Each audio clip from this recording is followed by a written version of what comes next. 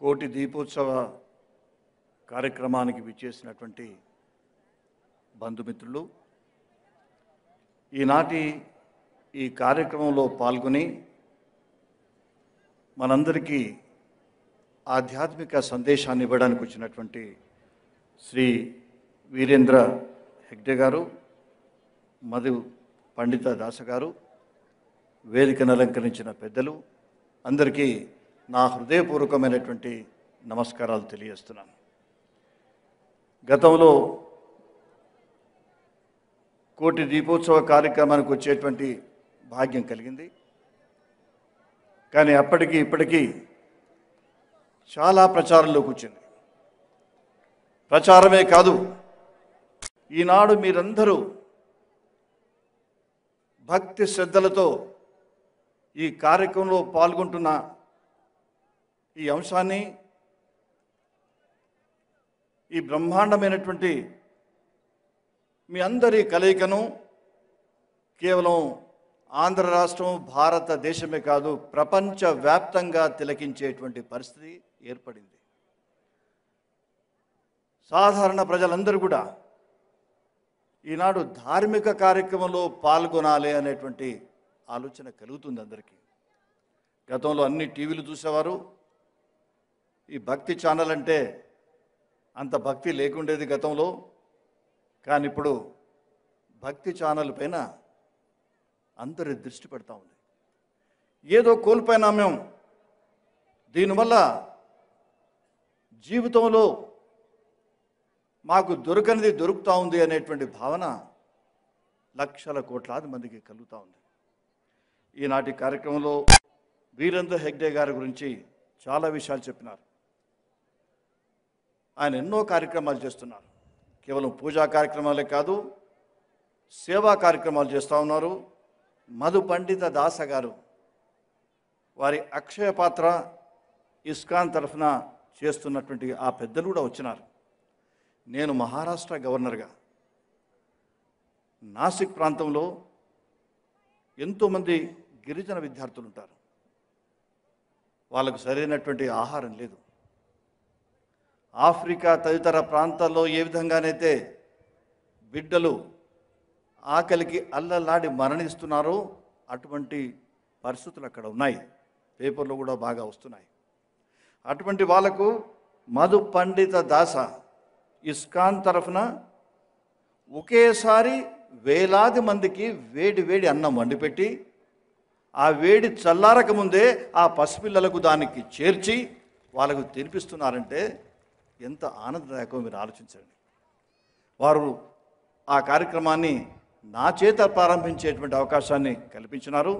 నేను మహారాష్ట్రలో గిరిజన ప్రాంతాల్లో ఉండేటువంటి గిరిజన బిడ్డలకు తల్లులకు బాలింతలకు ఇదే విధంగా అన్నాన్ని ఇవ్వాలని అక్కడ చట్టాన్ని కూడా సవరించే స్ఫూర్తిని వారే నాకు ప్రసాదించినారని ఈ సభాముఖంగా మీకు నేను మనవి చేస్తున్నాను. వారందరి ప్రసంగాలు మీరు వినబోతున్నారు.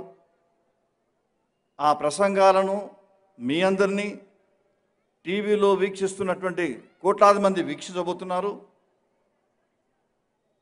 నేను ఎక్కువ సమయం తీసుకోకుండా ఇటువంటి కార్యక్రమాన్ని మనందరికీ అందించినటువంటి నరేంద్ర చౌదరి గారు వారి సతీమణి రమాదేవి గారు వారి కుటుంబ సభ్యులందరూ కూడా మీ అందరి ముందు నేను నా హృదయపూర్వకమైనటువంటి ధన్యవాదాలు తెలియజేస్తున్నాను.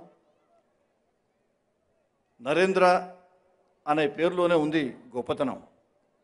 స్వామి వివేకానందుని పేరు కూడా నరేంద్రుడే. పద్దెనిమిది వందల ఎనభై మూడులోనే భారతదేశంలో ఉన్నటువంటి హిందూ మతం గురించి చికాగోలో ప్రపంచ దేశాల మధ్యన వివిధ మతాలకు సంబంధించినటువంటి ఆ సదస్సులో భారతదేశ సంస్కృతి పరంపర గురించి మౌలిక జీవన విలువల గురించి మనకు మతం ఏం చెప్తుందన్నటువంటి విషయాన్ని ఆనాడు అక్కడ చెప్పింది ఎవరు మర్చిపోలేరు. ఆ నరేంద్రుని పేరే మన నరేంద్రుడు కూడా ఉంది కాబట్టే మనకి ఇటువంటి చక్కటి కార్యక్రమాలను వారు ఇస్తున్నారని నాకు అనిపిస్తున్నది. నరేంద్ర చౌదరి గారు తీసుకున్నటువంటి కార్యక్రమాలు అనన్య సామాన్యము అనితర సాధ్యమని మనం చెప్పుకోవచ్చు. వారికి నేను నా హృదయపూర్వకమైనటువంటి ధన్యవాదాలు తెలియజేస్తున్నాను. ఇక్కడికి వచ్చి రెండు మాటలు చెప్పిపోవడం చాలా సులభతరం. మాలాంటి వాళ్ళు ఇంకా బాగా చెప్పిపోతాం అవకాశం దొరికిందని. కానీ ఇటువంటి కార్యక్రమాలు చేయడం అనేది ఎంత కష్ట సాధ్యమో మనం ఆలోచించాలి.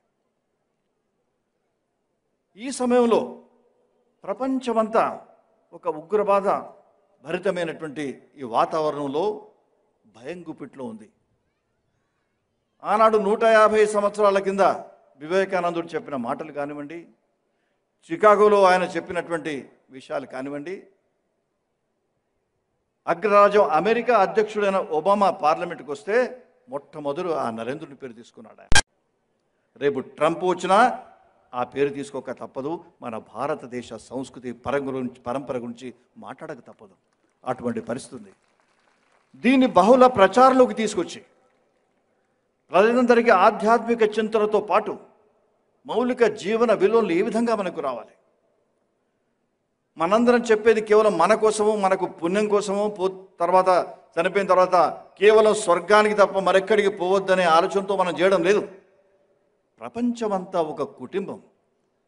ఆ కుటుంబం ఆ యొక్క సౌహృదత్వాన్ని ఏ విధంగా ముందు తీసుకుపోవాలి?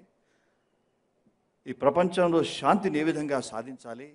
అందరూ ఒకటనే నినాదాన్ని ఏ విధంగా ఇవ్వాలనేటువంటి తపనతో మనం వచ్చి నేర్చుకుంటున్నాం. మనం ఇవ్వబోయేటువంటి సందేశాలు కూడా మన భారతదేశంలో వెలిసినటువంటి వేదాలు కానివ్వండి షడ్ దర్శనాలు కానివ్వండి వీటన్నిటి గురించి వారు చెప్తుంటే వినే అవకాశం మనకు కలుగుతుందంటే ప్రత్యేకంగా మనందరం వారి దగ్గరికి పోయి వినలేం మనం. అందరికి ఒకేసారి వినడానికి చక్కటి అవకాశాన్ని అవకాశం మనకు దొరుకుతూ ఉంది. దీనివల్ల మన జీవితంలో నా జీవితంలో నేను ఏ విధంగా ముందుకు పోవాలి? ఒక ధ్యేయపూర్వకమైనటువంటి జీవితాన్ని పర్పస్ఫుల్ లైఫ్ని ఏ విధంగా లీడ్ చేయాలనేటువంటి ఆలోచన ఇక్కడ ఇటు మంచి ఆహ్లాదకరమైనటువంటి వాతావరణంలో ఆధ్యాత్మిక చింతనతో కూర్చున్న వాతావరణంలో మనం కూర్చొని ఈ సందేశాలు విన్నప్పుడు మనకు కలుగుతుంది. ఆ వాతావరణాన్ని కల్పించినటువంటి నరేంద్ర చౌదరి గారికి రమాదేవి గారికి వారందరికీ కూడా నా హృదయపూర్వకమైనటువంటి ధన్యవాదాలు తెలియజేస్తూ నాకు అవకాశం ఇచ్చినందుకు మీ అందరికీ కూడా మరొకసారి ధన్యవాదాలు తెలియజేస్తూ సెలవు తీసుకుంటాను